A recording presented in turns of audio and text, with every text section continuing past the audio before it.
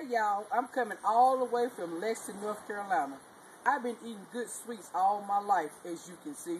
But until you had Mo Cakes, you ain't had no cake. Eat more cake, y'all.